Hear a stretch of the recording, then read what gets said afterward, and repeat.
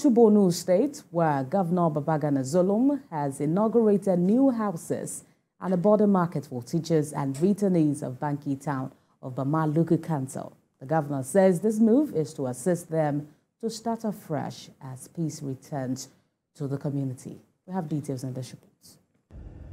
Banki, a commercial town in Bama Local Council, shares a border with Cameroon Republic. The town is back to life after years of security threats. As its people return, the state governor Babagana Zulum commissions new houses to them.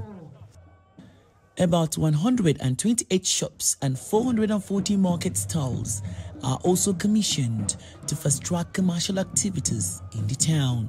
The idea of establishing the Banki free trade zone was mooted during the administration of our predecessor, the Vice President of the Federal Republic of Nigeria.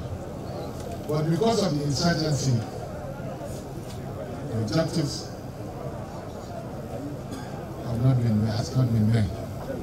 The state government also promised to strengthen its bilateral ties between Nigeria and Cameroon to improve transport trade. Economic activities between the Republic of Cameroon and that of Nigeria has reduced tremendously. We are here in order to see how we shall, uh, you know, restore the economic ties between the Republic of Cameroon and Chad and Nigeria.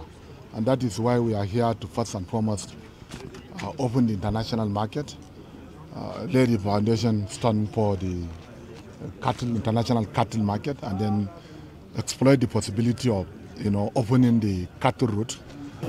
We can, as one, change ideas and make value contribution to intensify and strengthen joint effort to stabilize, consolidate peace, and foster sustainable. Governor Babagana Zulum also laid a foundation of a new international market dedicated for cattle business in Banki.